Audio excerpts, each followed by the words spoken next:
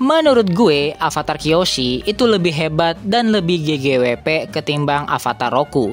Kenapa? Karena Kyoshi punya ketegasan yang baik dan idealisme yang kuat.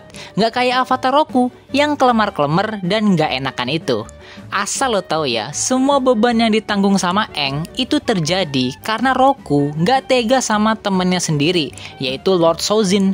Coba aja kalau Roku tegas, invasi negara api, ya nggak akan terjadi Beda banget sama Kyoshi, avatar yang tegas dan gak kenal ampun.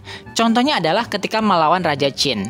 Kyoshi udah minta baik-baik untuk cabut, tapi Raja Chin tetap ngeyel. Oh ya udah, Kyoshi nggak pakai bacot, dia langsung dorong pulaunya menjauh sekaligus membunuh Raja Chin dan mengakhiri terornya. Sekali mendayung, dua tiga pulau terlampaui. Nah, itu tuh baru avatar. Karena Kyoshi lah era Roku jadi damai. Alhasil Roku jadi avatar gabut. Karena masalah tirani atau penjajahan itu udah diselesaikan sama Kyoshi. Makanya menurut gue ya avatar Kyoshi itu lebih hebat dari avatar Roku.